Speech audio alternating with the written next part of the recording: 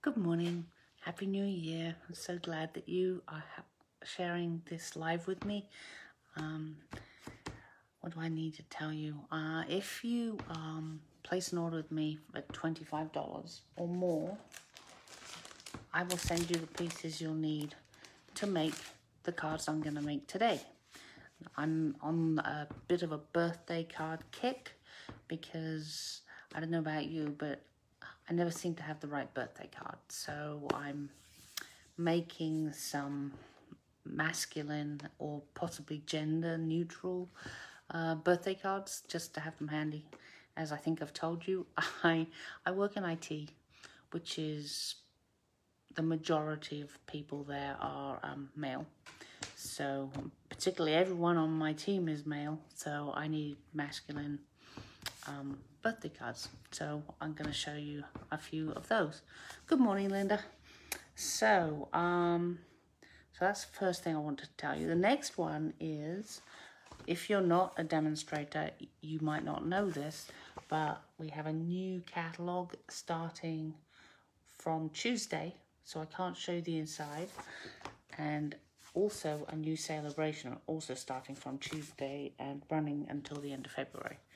The mini catalogue runs till June. Um, yes, the end of June. So if you need some of these, because you don't have them, because you don't have a demonstrator, then um, let me know and we can work something out. So, um, what else was I going to tell you? I know there was something else. Oh yes, if you share my video, then I will put you in my raffle. Now, you may think that it's pointless being in my raffle because um, no one's got anything lately, but I am happy to tell you that I have all the things. I have the. I'm in the middle of processing the um, the raffle winners at the moment on my desk in my office. So uh, there is a there is a, a reason to do that. So anyway, let me turn you down Oh, here it is. I thought I'd lost my die. And I will draw the raffle and then we'll I'll show you what we're making and then we'll get going, okay? So let me just turn you that way so that you don't get blinded. Hang on, let me stand up and see what you're seeing. That's pretty good. Perfect, actually. Right, so last week, which was episode 96, and we were using the Tidings of Christmas to make non Christmas cards. So I've got Judy, Kathleen, Diana, and Kim shared it. So let's see. That is a four. So that is Kim. Okay. Let's mark that. And I forgot to say that this is episode 97, which is fairly obvious, seeing as last week's was 96. And I'm going to be using the In Good Taste DSP. So let me show you the cards that I'm going to make. So here's the first one. Now, I did uh, heat emboss, but it would appear that my black embossing powder, which quite frankly I've had for um, probably seven years. So I guess it's fair enough that it's um, a little on the non-embossed side. But, um, and I was thinking that because I've got silver in this in this ribbon, I'm going to emboss it in silver today and see how that looks. Then here is, oh, and I forgot to say that this is from the Peaceful Moments um, set. So then here is another piece of the DSP, which is one of my favorites. It reminds me of tiles in Barcelona where they, an apartment building we were staying in, they were redoing the tiles. I mean, it's not just uh, that they were done in history and they're still there. They still put them down. I mean, it's it's fantastic, and it's also an opportunity for me to use the happy birthday from Create with Flowers, which sadly there's only one vertical greeting in here. I mean, a few years ago we had one which had a lot of vertical greetings and I found it really useful. So I was thrilled to be able to use it here. And I was in fact so happy I used it on the next card as well. so I'm really getting my money's worth out of this vertical greeting. And it's great because as I said, I need, um, I do need uh, um, birthday card. So let me get my packet, pre-cut stuff. I'm so happy with this. When I when I made this first card, apparently I prepared for today, but I forgot about that, so I prepared again. So I guess I'll get a spare one. So it's all good, right? So we'll just take it down to the first card base. And what should we do first? Let's do the sentiment first. And we'll see. And I've got a spare one, as you know, just in case. But if nothing bad happens to it, maybe... Well, no, I don't like the black. It's too non-shiny. Right, oh, let me get my silver powder out. Ah, hard to open, which is good because obviously it means it's keeping it nice and fresh.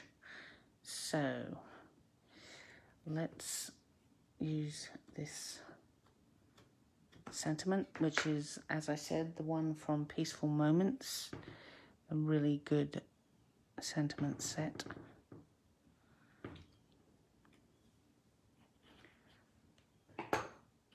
So I decided to do something from not nothing new because I didn't want to show you something you couldn't get now.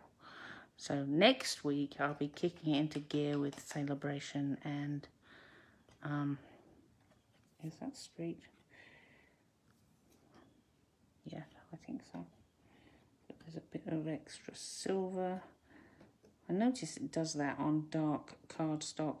It's got a kind of a silver wash almost. Right, let's move that out of the way. I might need my clothes peg which apparently I can't see, so I've left it out somewhere.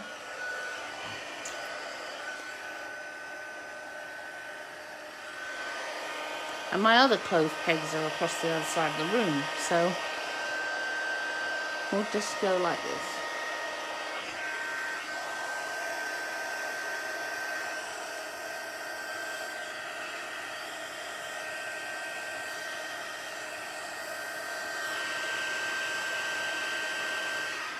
Just put some heat on the other side to flatten it a bit.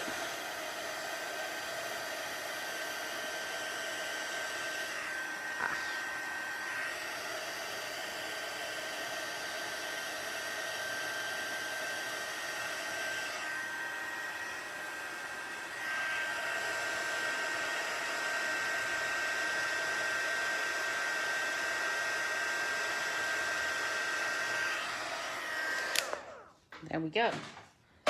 So, let's just put this over the top of this one. Um, hmm. I kind of like the black, but I also like the silver because it goes with this. Ooh, I wonder if I'd done a black, well, a black. Oh, well, let's put the whole thing together and see what we think.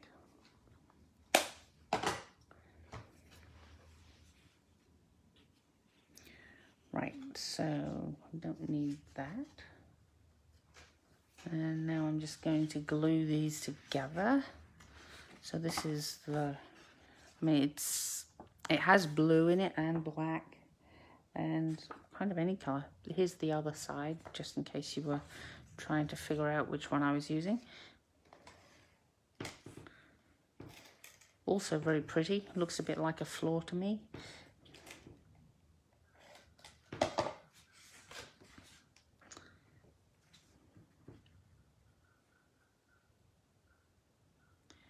also makes it quite hard to see where it is because of the black in it. So Here we go. And we're going to put, huh? I almost did it again. Uh, I am horrible at remembering to put ribbon on. So I'm just going to do a knot, like so. And this needs to be put on the card. So about there, I think. So just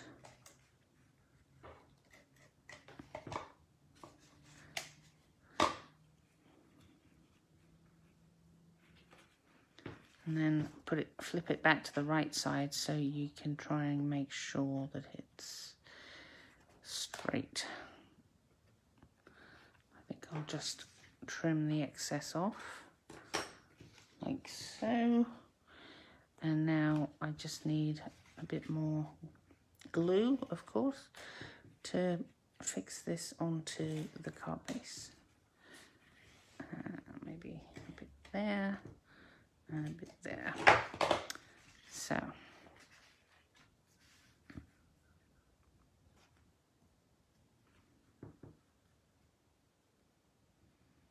I've got a nice deep Night of Navy border around that. And then I'm going to get some dimensional, uh, yeah, a few dimensionals. and I'm going to put them basically at the edges and then I'm going to put it over the ribbon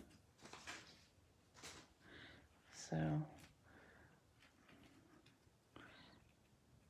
it will kind of keep the ribbon in place I mean it's going to stay in place anyway isn't it because it's uh, glued down on the back but there you go so question is which one do you prefer so let me know in the comments and um,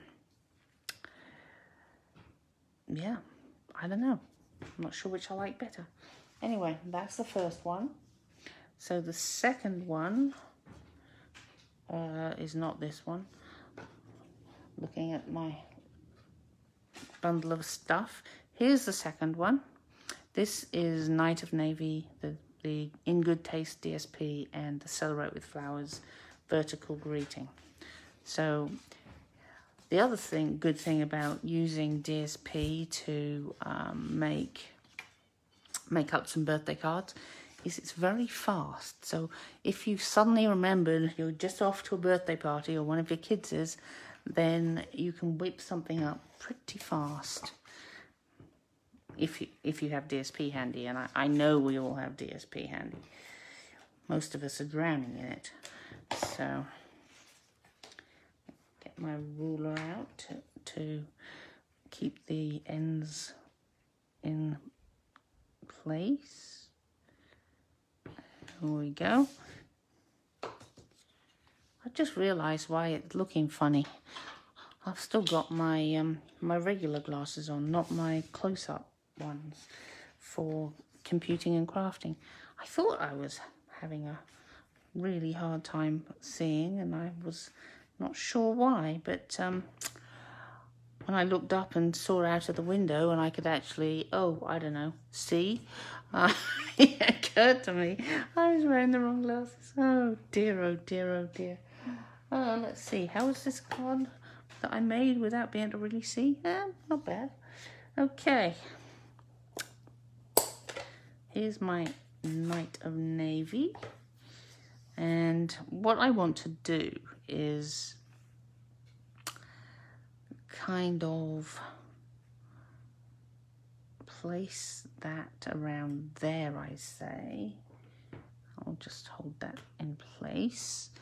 And I'm going to, this is off, straighten that up so that everything can be straight. And I want to put it kind of in the middle of that white space. So let's have a go with that, shall we?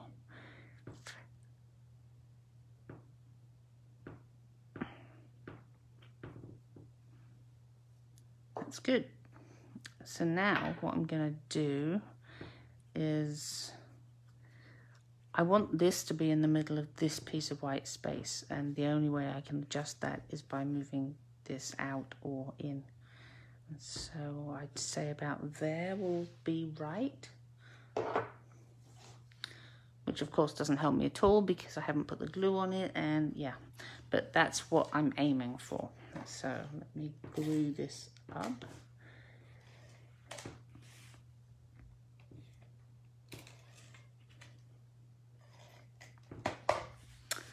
And bring this back in again. Hold it down. No, I can't hold it down there, you idiot. You're gonna... Ay, ay. I'll just do it with my finger. So what we reckon about, yeah, about there. And just, yep, I like that. And of course, the really cool thing about this paper is this whole sheet is all about, you know, looking like you're in the middle of um, putting this stuff that I can't remember the name of up, and you've got all these little different patterns. So none of these will ever be the same, which is kind of cool actually. So, yeah, kind of like that. And then finally, here's another one which, as I said, I'm going to be hooked on this um, vertical greeting for a while until I have got enough birthday cards, probably. and and so let's start this one. So what I've got here is Night of Navy on with this on. I love this. I really love this paper. And it fits down the middle, which is a bit different, I know. In fact, you could do it. You could do it this way, except not with the vertical greeting, and you could just have something across the bottom. But I am going to do it with my vertical greeting because it makes me happy. And crafting is about making you happy. Shouldn't be stressful. It should just be something you can relax while you're doing. Uh, just check which way around it is because it's, yeah, that's right. So it doesn't matter which way up it goes because, well, it doesn't matter in this case, but if it did matter, then you can turn it up whichever way, right? So, same here. Um, let's use this side. I'm going to have the happy birthday in the middle of where it will end up, if you see what I mean. So I'm going to put it there. And then this will move across a bit to about there. And I got it the way I wanted it because this space is about the same as, as that which is, I think, pleasing to the eye.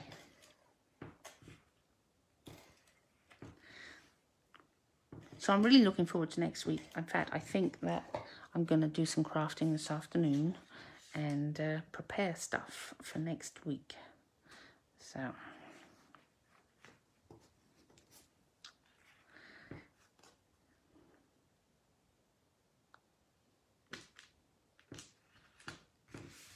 Go. Because uh, I have completed, I completed my goal last year. I wanted to run 600 miles and I did. But towards the end, I think at the beginning of August, I was 65 miles behind. So I had to introduce a Sunday morning run.